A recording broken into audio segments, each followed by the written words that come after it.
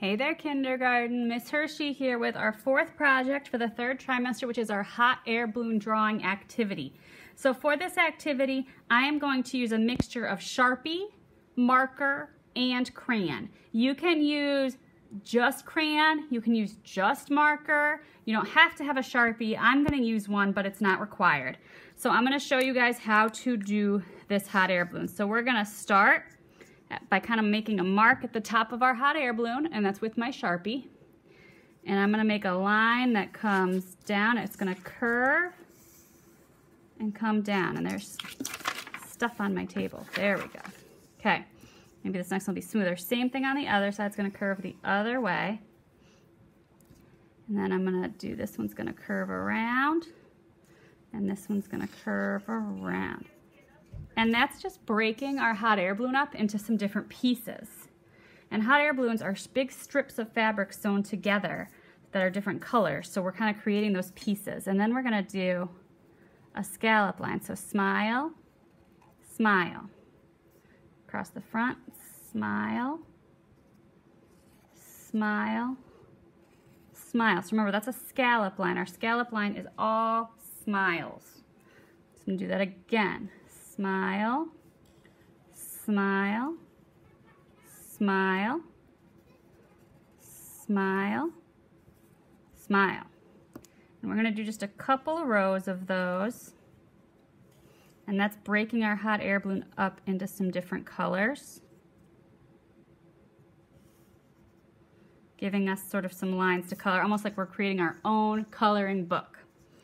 Then if you want to, you can give your basket some texture. Usually these are actually baskets. They're not anything fancy. They're just a woven basket. So I'm going to give mine just some cross hatching there.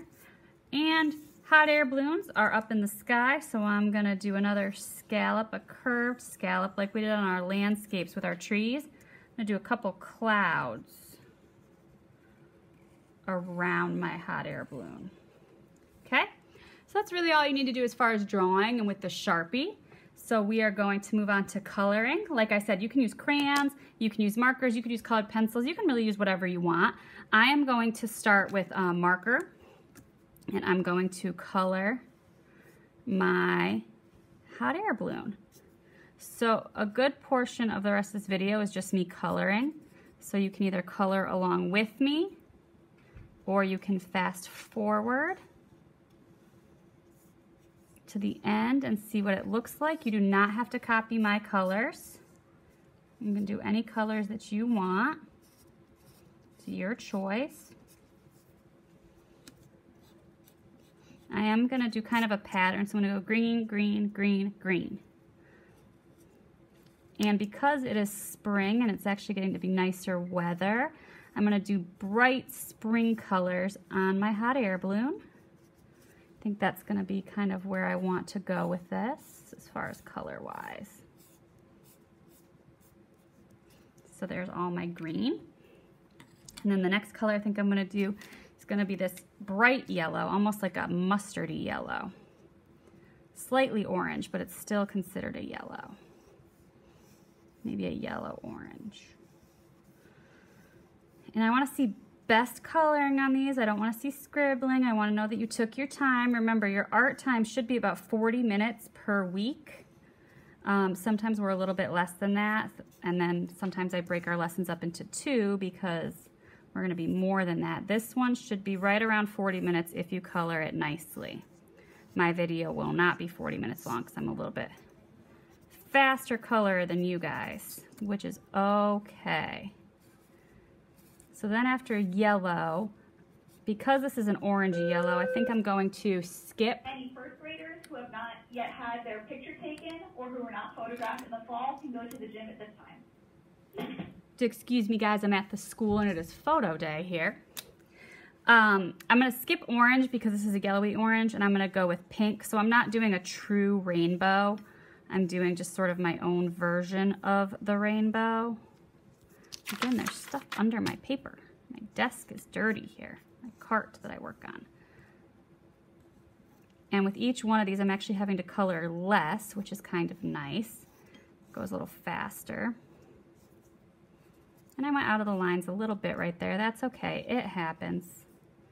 Not, no one's ever perfect. Not any art is ever going to be perfect.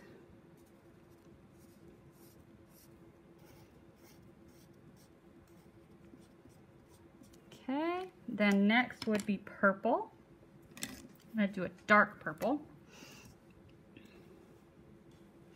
And I do want to repeat myself, you do not have to color yours the same way I am. If you want to color your whole blue in one color, you can.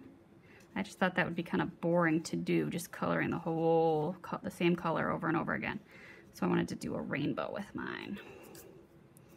Okay, and then after purple, if we were doing more of a rainbow color, it would be blue. I'm going to do this light blue, kind of cornflower blue almost.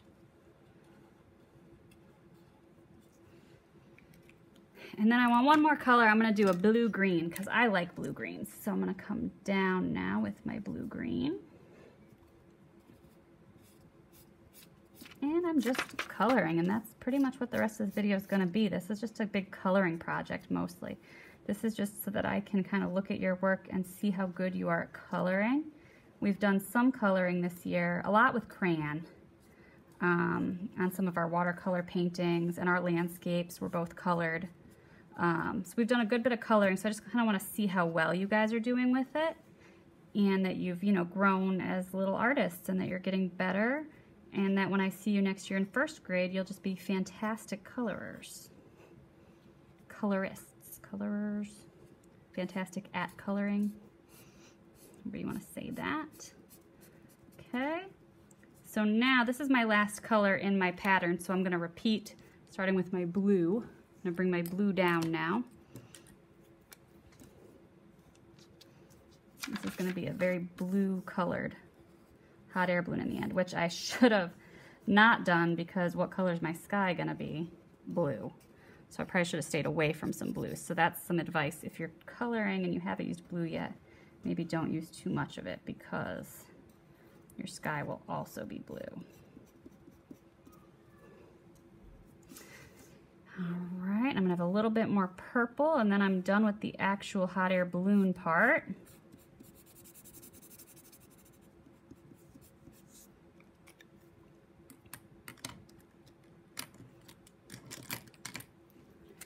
And then I've got my purple, okay. I want to do my ropes. Ropes would most likely be brown or maybe black do them brown. Nice thick ropes. And then the basket, I do actually have this light brown in my marker set. And I'm gonna do that's more of a color like you would think of a basket.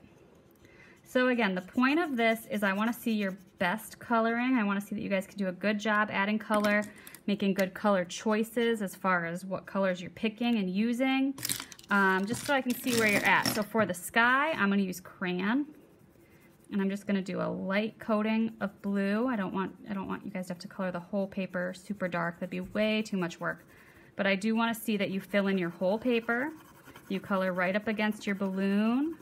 You color right up against your clouds. These sequins just don't wanna go away. So I usually go a little slower towards my edges so I don't wreck my paper but it's going to be important when I look at these that I see that you did try your best and you did good coloring. That's really the point of this one. This is why I gave you an easy one this week. We've had some toughies these past couple weeks um, where you had to do a lot of your own work. The uh, silly monster painting, that one was a lot of drawing work for you guys. The shamrock, that one was a little bit hard as far as the cutting. So I'm really trying to give you guys an easy one, but still be able to show me that you can do a good job, even when I give you an easy project. A little glitter stuck on the back there. So I like to just kind of color around my objects, and then that makes it easier to do the rest. Oh my gosh, I've been coloring off the camera. I'm sorry, guys. So what I was just saying, I like to color around my objects. So I'm going all around these objects here.